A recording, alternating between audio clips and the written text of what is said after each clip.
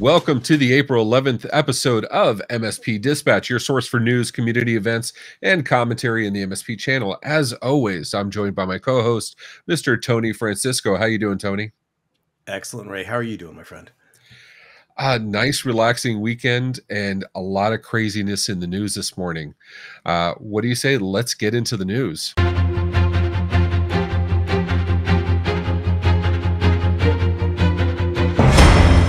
In news that's taking the MSP world by storm, Kaseya has announced that they will be acquiring Datto. Datto, with over 400 employees worldwide, servicing over 5 million organizations, is the software as a service company that caters to MSPs with backup services, PSA, RMM, and a host of other services. Uh, this announcement, they announced several weeks ago that they were looking for possible sale, and Kaseya seems to be the willing partner to take it. This is huge, Ray. Uh, this is a huge market shift that is destined to affect everyone. Datto is 100% uh, for the MSP, for the channel, and Kaseya is up there as well. Consequently, the merger of the two should result in something very positive, but definitely something that's going to impact the MSP community um, drastically. So uh, I'm interested to see what the next steps are ahead. I'm interested to see what the leadership um, is going to consist of. I'm interested to see if they have any particular vision that maybe we're not able to see right now, or if it's taking the best of both worlds and bringing it all together in a single unified frictionless environment that can have something that will empower the MSP that they're known to be uh, servicing anyway. See, that's that's my concern here. So, you know, Kaseya has VSA, which is their RMM platform. They have BMS, which is their PSA platform. Datto has auto. They have Datto PSA, which is formerly Autotask, formerly Center Stage, and they have Datto RMM, uh, which was Datto's product uh, in the RMM space. And so we're going to have two major companies with two competing platforms in each of the big spaces, PSA and RMM.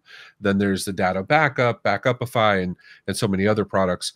Um, I'm wondering, you know, is this going to be a winner take all kind of thing? Of they're going to keep the best in class product? Are they going to keep all four of these products in play uh, going forward? Uh, there has been varying degrees of interest um, or varying degrees of progress with each of these platforms where you know Datto has been well known for their very fast, rapid development strategy and release strategy. Uh, that was one of the major things when Datto picked up Autotask. They increased the development cadence. Whereas uh, Kaseya is not really known for new features and new feature releases with products they purchase. So I'm wondering how that's going to, how those two different types of companies are going to work together when one is very fast and iterative and the other one is a much larger behemoth slower to move. Um, so i'm very curious about that.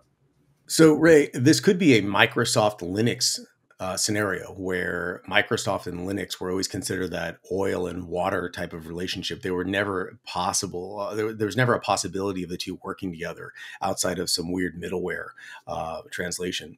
And eventually, what occurred because you had such two loyal audiences to each, they merged and that merger is continuing right in front of our very eyes where it is going to have a huge benefit to not just the individual uh, loyal fan bases of each of those sides but to the community as a whole. So it could be that scenario where uh, Datto, which has an extraordinarily loyal audience, and Kaseya, which also has a very long uh, relationship and, and loyal audience, bring out the best of both of those worlds and they find a way to work together that benefits the community as a whole. And that, that's this could be very exciting. Speaking of Microsoft, in the news now, Microsoft plans to increase uh, pricing on the non-profit cloud products. The research that we've done is preliminary, but we do know that the price uh, increase is going to take place later this year. Uh, this price increase affects uh, quite a few of the nonprofit cloud products, um, and we'll have a link in the show notes for the details that we have currently. Uh, the price increase ranges from 10 to 28%. It does not affect grant products. Um, we're we have mixed emotions about this internally because although that price increase could be devastating in some fashion, it's still a limited product set. And the reality is that Microsoft has not raised a single price for over a decade. So, Ray, what are your thoughts about this? Any price increase could be received as something negative. However, no price increases for over a decade. The Office suite has evolved dramatically during that time, and now there is a price increase that's occurring across the board, both both on the retail side as well as the nonprofit side. What what is your what is your take on that? I think this is another step we've already seen. Microsoft tried several times last year to re- revise the terms of the partnership agreement. They were going to do away with partner uh, action pack. They were going. They changed where partners could no longer use the internal rights software uh, from Action Pack or from their benefits.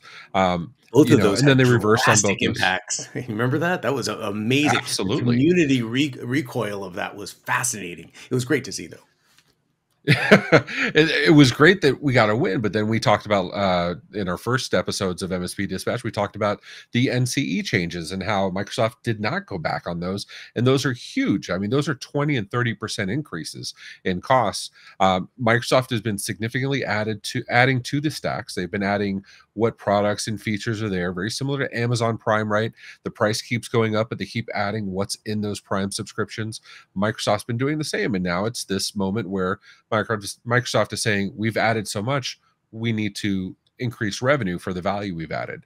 Uh, and I think this is just that next step, that next iteration where they're going to those nonprofits and saying, we're going to start recouping those funds too. We're cutting back on on those major discounts. It's a revenue play. It is. And I think the combination with the uh, new commerce experience that they're implementing a framework that not only um, structures that revenue play, but it captures it as well for, uh, in some cases, uh, quite a long period, depending on the on the contract term. Uh, it's going to be interesting to see how this plays out. Also, in Microsoft news, Microsoft is taking credit for stopping Russian connected cyber attacks on Ukraine. And in this particular time, uh, it's well appreciated it appears that strontium, uh, also known as Fancy Bear or APT 28, those fancy names, uh, known for its connections in the Russian government, launched attacks on media organizations in the Ukraine during the February 24th until now um, invasion of the Ukraine area. Uh, the Microsoft as a whole has been very strong, strongly opinionated in staying out of this, but this is the first time that we're actually seeing some direct involvement and they are taking credit for this action. So, Ray, uh, tell me how you feel about that. We have one side where Microsoft is raising rates on nonprofit services, as we just discussed here. And now on the other side, a more altruistic approach where Microsoft is stopping Russian uh, cyber attacks on the media in the Ukraine area. Um, how do you feel about this? So I, have I've always taken the contrarian view that good costs money. Um, we can, you know, with my own organizations in the past, I've always we've done a lot with charitable giving and you know supporting nonprofits and everything else.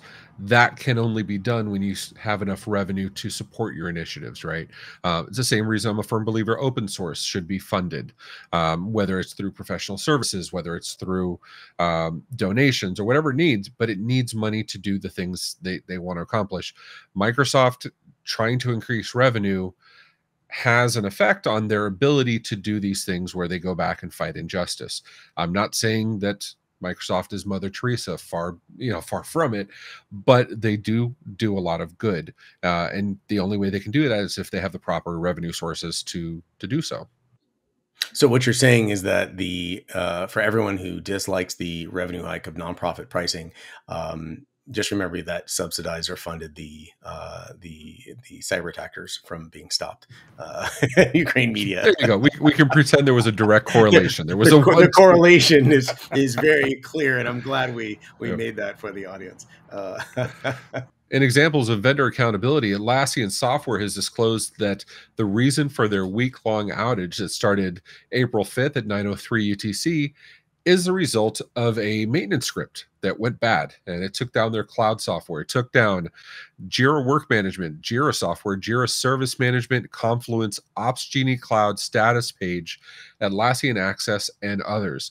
Jira Software is most widely used for project management. Software development firms use it worldwide. Ticketing software, Opsgenie status pages. The Atlassian status page shows exactly what is still affected, and they have been updating it regularly. Tony, this kind of this kind of accountability where they're saying, "Oops, we did it. Uh, this is what's going on, and we're still trying to fix it." They've assigned 400 engineers working on this problem, and they're communicating quickly. Uh, that shows a, a level, a degree of accountability that we've not we've not often seen in in our space. Um, Agreed. Are you even, affected even by the, this?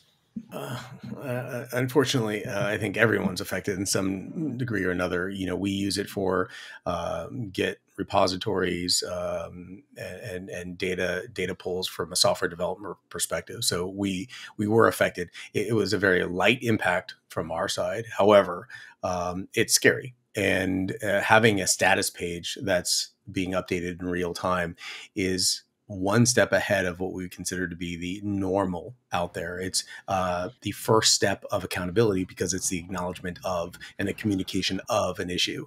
Um, you know, finding out the root cause analysis is a new is a new level, but that does that has very little positive uh, bearing on the situation. Um, but the fact that they have disclosed the amount of resources and engineers that they have working on this, it, eh, that means a lot. And and I'm of the opinion that uh, every apology comes with three very core pillars: the initial uh, and sincere apology, the um, you know, what can I do to make it better? And the third and final is, yeah, here's what I'm doing to make sure it never happens again. It sounds like we have a first and a third. Um, the what can I do to make it better scenario is a lot of band-aids of you know status pages and and some communications but one week outage painful just just painful uh, but i'm glad they're taking the right steps. They're taking steps in the right direction Absolutely. This reminds me, uh, this is reminiscent of the Facebook outage from last October. Um, you know, we, it, it, was just Facebook, but it, it was basically everyone uh, looked at it as the entire internet went down, or at least that's how our that's how our clients looked at it, right? And that was uh, that was something that was just a, I believe it was a zone file update uh, that was done incorrectly and took down DNS because it's always DNS, uh, and that even blocked access to the facilities where they needed to make the changes to get back up. Uh, this happens to the best of them. If you haven't read the postmortem, I'll get the show link uh, or I'll get the link to the story and I'll put it in the show notes below so you can read the postmortem on it. Uh, that was also a very interesting read from an engineering perspective. Uh, definitely something you you can you can only plan for and hope it never happens and if it does you test your plans and see what happens um, that's a long way to say good job Atlassian. We're very proud of you, and, and thanks regarding, for showing us the way. regarding that Facebook outage, I re, I was so upset because I couldn't post the post on Facebook about Facebook being down, and it was really frustrating me. I think that's what frustrated me the most. Uh, no. when you can't update your Instagram, then you, you know stuff's going sideways. and, uh, uh, yeah, I'm I'm really glad for Atlassian to uh, you know keep everyone up to date. The communication is uh, is a critical step. Speaking of Twitter and updates, it turns out that Elon Musk, after his 9.2% uh, purchase of Twitter, making him the largest stakeholder in the Twitter organization, abandoned his plans to join the board in Twitter. That has caused quite a few questions of what are the plans, the vision, the changes that are speculated to be taking place inside Twitter post Musk's uh, involvement in the Twitter organization. I think all this is currently unfolding. This is hot off the press. Uh, the Twitter platform, as it exists today, is uh, sta- standard, standardized. There's no changes uh, anticipated yet, uh, but keep your ears open uh, because I'm pretty sure there's going to be some big news ahead. SiliconANGLE has an interesting write up where they analyze the after effects of the Okta breach, going into Okta's response saying that it's a near zero technical impact to their operations and their customers, advising the impact was only to 366 customers worldwide. And the reality that most security researchers believe that is all full of it, for lack of a more uh, more pro more professional term. Uh, this is affecting how security researchers, how organizations, how enterprises uh, of all sizes are approaching the vendors that they use and the accountability that they expect. We will include the link to their story, the full write up by SiliconANGLE in the show notes. And that's a wrap for this April 11th episode of MSP Dispatch, your source for news, community events, and commentary in the MSP channel. If you have any comments or concerns or questions or articles you want us to cover, go ahead and just hit, hit us up on social media or email news at mspmedia.tv. Tony, thanks so much for your comment and insights. I appreciate you as always. I look forward to seeing you on Friday, man. Thank you, Ray. Everyone have a great one. This has been a broadcast of the MSP Media Network.